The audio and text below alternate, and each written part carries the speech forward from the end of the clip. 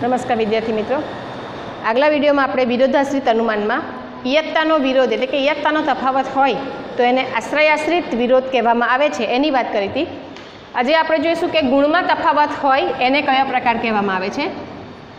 તો સમાન ઉદ્દેશ્ય, સમાન વિધેય, ગુણનો તફાવત, ગુણનો વિરોધ, સમાન ઉદ્દેશ્ય સમાન વિધેય. અને ઇયત્તામાં પણ સમાન. હવે આગળના ત્રણેય પોઈન્ટ સમાન હોય. એવા બે વિધાનો વચ્ચે ગુણનો વિરોધ હોય.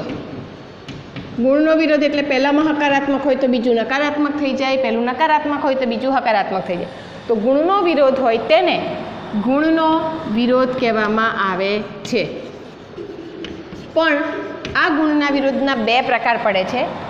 ધારો કે ઇયત્તા સમાન છે, પણ બંને ઇયત્તા સર્વદેશી હોય. તો બંને સર્વદેશી વચ્ચે જો ગુણનો વિરોધ થાય, તો એ વિરોધનું નામ આપવામાં આવે છે અંશ વિરોધ. અને બંને ઇયત્તા એક દેશી કેટલાક કેટલાકવાળું હોય, બે એક દેશી વચ્ચે જો ગુણનો વિરોધ થાય, તો એ વિરોધનું નામ આપવામાં આવે છે ઉપવિરોધ. તો આ બે રીતે વિધાનના વિરોધમાં ઇયત્તામાં એક જ પ્રકાર છે આશ્રય આશ્રિત વિરોધ. પણ જો ગુણ બદલાયો હોય તો બે પ્રકાર પડી શકે. એમાં આપણે ઇયત્તા જોવું પડે. બે સર્વદેશી વચ્ચે ગુણ બદલાય તો અંશ વિરોધ, બે એક દેશી વચ્ચે ગુણ બદલાય તો ઉપવિરોધ. હવે આપણે ચારેય પ્રકારો જે છે વિધાનના એના વિરોધ કરીશું.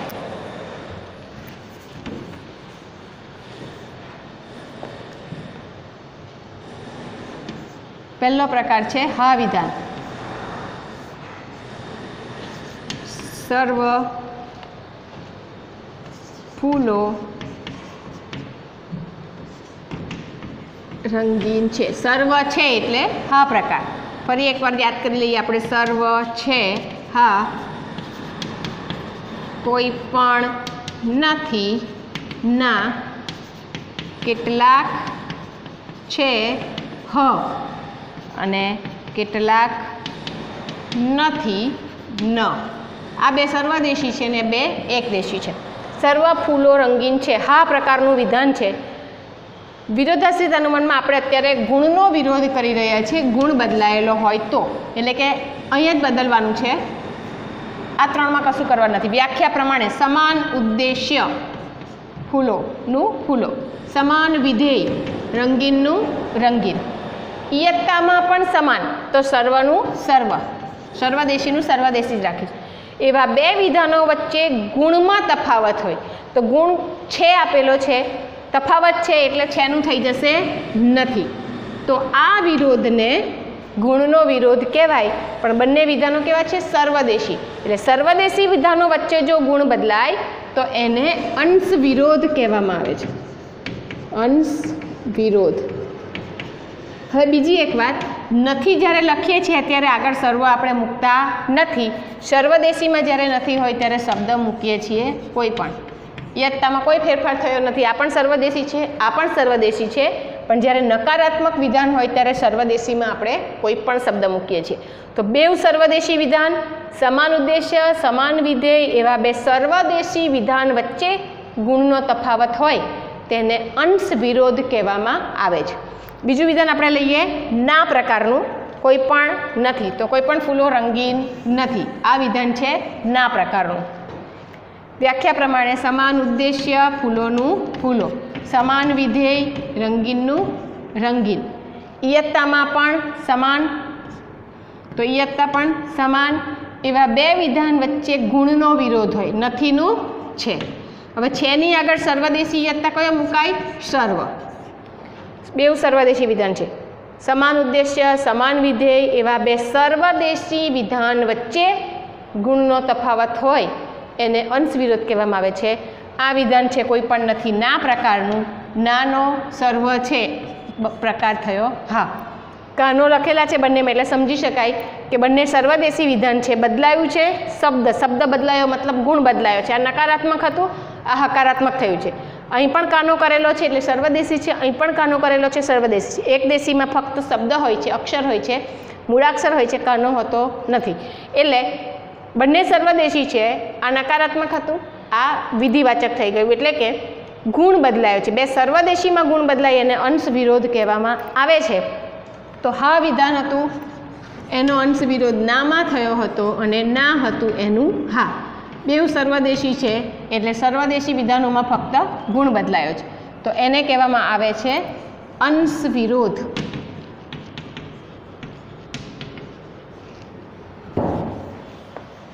હવે બે એકદેશી વિધાનો હોય કેટલાકવાળા, એમાં ગુણ બદલાય ત્યારે શું? તો સમાન ઉદ્દેશ્ય, સમાન વિધેય એવા બે એકદેશી વિધાનો વચ્ચે ગુણ બદલાય, એને ઉપવિરોધ કહેવામાં આવે છે. અંશ વિરોધ અને ઉપવિરોધમાં કન્ફ્યુઝ થવાની જરૂર નથી. બે મોટા છે, સર્વદેશી છે, એમાં બદલાય તો અંશ વિરોધ કહેવાય. નાના છે, એક દેશી છે, થોડાક વાળા છે, કેટલાક લખ્યું છે, એ નાના કહેવાય. ઓછું છે, અવ્યાપ્ત છે એટલે ઉપવિરોધ કહેવાય. ઉપશબ્દ આપણે ઘણીવાર જે પ્રમુખ હોય એ મોટા હોય ઉપપ્રમુખ એટલે એનાથી નાના. ઉપશબ્દ આપણે એના માટે નીચે મૂકીએ છીએ. મંત્રી હોય એ મોટા કહેવાય, ઉપમંત્રી હોય એ નાના કહેવાય તો ઉપશબ્દ આપણે નીચે થોડુંક નાનું હોય એના માટે વાપરીએ છીએ. તો અહીં પણ બે સર્વદેશી છે, સર્વવાળા છે, મોટા છે, એના માટે અંશ વિરોધ ગુણ બદલાયો છે. અને બે નાના નાના હશે એની વચ્ચે ગુણ બદલાય તો ઉપવિરોધ કહેવામાં આવે છે. તો ઉપવિરોધ માટે હ વિધાન લઈએ. કેટલાક પક્ષીઓ સફેદ છે. આ એક વિધાન છે કેટલાક છે એટલે હ અને કેટલાક નથી એટલે ન. સમાન ઉદ્દેશ્ય, પક્ષીઓ, સમાન વિધેય, સફેદ. ઇયત્તામાં પણ સમાન, કેટલાકનું કેટલાક. એવા બે એક દેશી વિધાનો. જુઓ, કેટલાક એ બંને એક દેશી છે. પેલા બંને સર્વ કોઈ પણ હતા. એવા બે એક દેશી વિધાન વચ્ચે ગુણમાં તફાવત હોય છે. એનું થઈ જાય નથી. તેને ઉપવિરોધ કહેવામાં આવે છે. કેટલાક છે હ હતું, કેટલાક નથી, ન. એટલે હ નો ઉપવિરોધ થયો ન વિધાનમાં. અને છેલ્લું ન વિધાન લઈશું, કેટલાક પક્ષીઓ સફેદ નથી. હનું, ના, નાનું, હા, આ અંશ વિરોધ. હનું, ન, નનું શું થાય છે આપણે જોઈએ? સમાન ઉદ્દેશ્ય, સમાન વિધેય ઇયત્તામાં પણ સમાન, એટલે કેટલાકનું કેટલાક. એવા બે વિધાનો વચ્ચે ગુણ બદલાયો હોય એટલે નથીનું છે. તો કેટલાક પક્ષીઓ સફેદ છે. તો કેટલાક છે એટલે બની ગયું હ. જોઈ શકો છો તમે યત્તા, ઉદ્દેશ્ય વિધેય ત્રણેયમાં સમાન ગુણ બદલાયો. પણ ગુણ બદલાય એટલે પહેલું આપણે ચેક કરવાનું કે બે સર્વદેશી વચ્ચે બદલાયો છે કે એક દેશી વચ્ચે? જો સર્વદેશી વચ્ચે ગુણ બદલાય તો અંશ વિરોધ કહેવાય, એક દેશી વચ્ચે બદલાય તો ઉપવિરોધ કહેવાય. તો ન, નો ઉપવિરોધ થાય છે, હ. હનો અંશ વિરોધ થઈ શકતો નથી, નનો અંશ વિરોધ થઈ શકતો નથી, કારણ કે અંશ વિરોધ એ બે મોટી વ્યક્તિઓ માટે છે. એવી જ રીતે હનો ઉપવિરોધ થઈ શકતો નથી. પૂછાય કે હાનો ઉપવિરોધ કરો તો શક્ય નથી, કારણ કે હા એ સર્વદેશી છે. અને સર્વદેશીમાં ગુણ બદલાય તો અંશ વિરોધ કહેવાય, એ ઉપવિરોધમાં આવી શકે નહીં. હા અને નાનો ઉપવિરોધ ના થાય, અંશ વિરોધ થાય. હ અને નનો અંશ વિરોધ ના થાય, ફક્ત ઉપવિરોધ થાય. તો આ બે પ્રકાર આપણે ગુણના વિરોધના જોયા કે ઇયત્તાનો વિરોધ એટલે આશ્રય આશ્રિત, ગુણના વિરોધના બે પ્રકાર. બે સર્વદેશી વચ્ચે ગુણ બદલાય, અંશ વિરોધ. બે એક દેશી વચ્ચે ગુણ બદલાય, ઉપવિરોધ. બંને બદલાયું હોય તો શું કહી શકાય? ઇયત્તા અને ગુણ બંને. તો એ ચાર ઉદાહરણ આપણે ચકાસી લઈએ કે સમાન ઉદ્દેશ્ય, સમાન વિધેય. આ બધું તો સમાન જ રહેશે. એવા બે વિધાનો વચ્ચે યત્તા અને ગુણ બંનેમાં તફાવત હોય. પહેલાં આપણે ફક્ત ભણ્યા યત્તાનો તફાવત. એને કહેવાય આશ્રયાશ્રિત વિરોધ. અત્યારે આપણે જોયું ગુણનો વિરોધ. તો ગુણના વિરોધના બે પ્રકાર છે. બે સર્વદેશી વિધાનમાં ગુણનો વિરોધ, અંશ વિરોધ. બે એક દેશી વિધાનમાં ગુણનો વિરોધ, ઉપવિરોધ. પણ જો બંને બદલાયું હોય તો તેને પૂર્ણ વિરોધ કહેવામાં આવે છે. પૂરેપૂરો વિરોધ ઇયત્તા પણ બદલાયો, ગુણ પણ બદલાયો. એને કહેવાય પૂર્ણ વિરોધ. એના ઉદાહરણ આપણે લખીએ. હા, વિધાનનું. સર્વ બાળકો તોફાની છે. આ થયું હા વિધાન. ઉદ્દેશ્ય સમાન, વિધેય સમાન, એવા બે વિધાનો વચ્ચે ઇયત્તા અને ગુણ બંને બદલાઈ જાય છે. તો સર્વનું થઈ ગયું કેટલાક? એકદેશી થઈ ગયું. સર્વદેશી હતું એકદેશી થઈ ગયું. હકારાત્મક હતું, નકારાત્મક થઈ ગયું. બંને બદલાઈ ગયું. ઉદ્દેશ્ય સમાન, વિધેય સમાન ઇયત્તા ફેરફાર છે, ગુણમાં પણ ફેરફાર છે. તો કેટલાક નથી, એટલે પ્રકાર થયો ન. હા, ના, હ, ન. કેટલાક છે, હ અને કેટલાક નથી, ન. તો હ, ન, પૂર્ણ વિરોધ ન વિધાનમાં થાય છે. અહીં આપણે જોઈએ છીએ, શબ્દ બદલાયો છે, એટલે ગુણ બદલાયો. આ સર્વદેશી હતું, અહીં નીકળી ગયું એટલે એક દેશી થઈ ગયું એટલે ઇયત્તા પણ બદલાયો. તો ઇયત્તા અને ગુણ બંને બદલાય, એને કહેવાય પૂર્ણ વિરોધ. બીજો પ્રકાર આવે ના વિધાન, તો કોઈ પણ બાળકો તોફાની નથી. ના એટલે કોઈ પણ નથી. કોઈ પણ નથી. સમાન ઉદ્દેશ્ય, સમાન વિધેય ઇયત્તા બદલાઈ ગયો. કોઈ પણ સર્વદેશી છે, એનો એક દેશી થઈ જાય કેટલાક. ગુણ નથીનું થઈ ગયું છે. જો ઉદ્દેશ્ય વિધેય સમાન છે ઇયત્તા સર્વદેશીનો એક દેશી થયો, ગુણ નથીનો છે, એટલે ઇયત્તા અને ગુણ બંને બદલાયા. તો કેટલાક છે એટલે પ્રકાર થયો હ. નાનો પૂર્ણ વિરોધ હ વિધાનમાં થાય છે. ત્રીજો પ્રકાર જોઈએ. હા ના પછી હ. હ એટલે કેટલાક છે. કેટલાક બાળકો તોફાની છે. અહીં આપણે જોઈશું સમાન ઉદ્દેશ્ય, બાળકોનું બાળકો, સમાન વિધેય, તોફાનીનું તોફાની. એવા બે વિધાનો વચ્ચે ઇયત્તાનો તફાવત હોય એટલે કેટલાકનું સર્વદેશી થઈ જાય અને ગુણમાં પણ તફાવત હોય એટલે છેનું નથી. ફરી ધ્યાન આપ દોરું છું, આમાં ધ્યાન આપજો. નથીની આગળ સર્વ મુકાય નહીં. સર્વદેશી શબ્દ મૂકવો હોય તો કોઈ પણ મૂકવાનું નથીની આગળ સર્વદેશી માટે સર્વ શબ્દ મુકાતો નથી.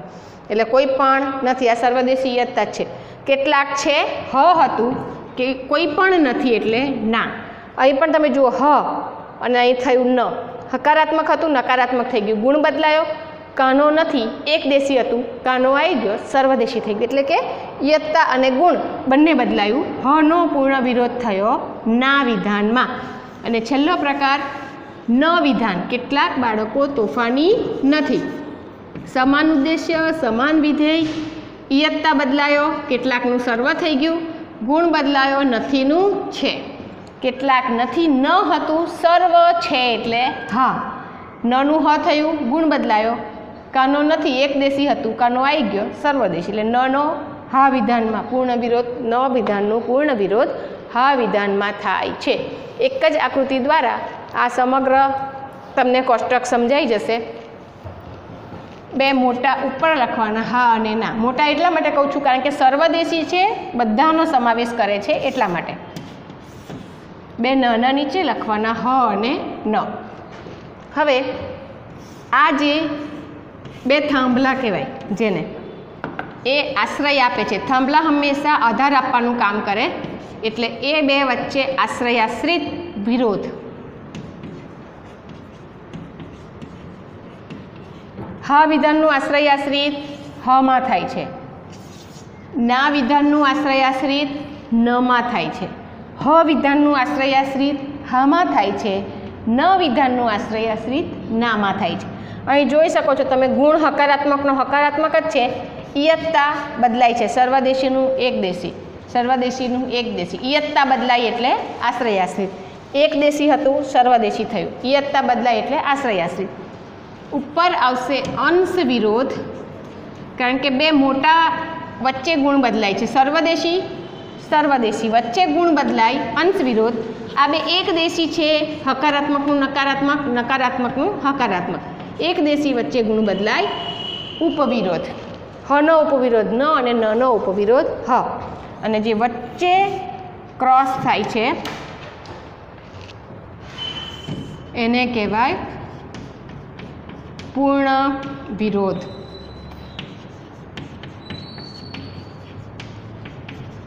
એટલે કે હાનો પૂર્ણ વિરોધ ન. હકારાત્મકનું નકારાત્મક થયું, સર્વદેશી નીકળી ગયું એક દેશી થઈ ગયું. નનો પૂર્ણ વિરોધ, હા, અહીં નકારાત્મકનું હકારાત્મક થયું. આ એક દેશી હતું, આ સર્વદેશી, એટલે બંને વસ્તુ બદલાઈ જાય છે, ગુણ અને ઇયત્તા હનો પૂર્ણ વિરોધ ન, નાનો પૂર્ણ વિરોધ, હ. હનો પૂર્ણ વિરોધ ના નનો પૂર્ણ વિરોધ હા તો આ રીતે આપણે એક આકૃતિ દ્વારા વિધાનના વિરોધની સમગ્ર માહિતી મેળવી શકીએ છીએ. હવે પછી આપણે જોઈશું સામ્યાર્થી અનુમાન. એ આપણે નેક્સ્ટ વિડીયોમાં એનો અભ્યાસ કરીશું. Thank you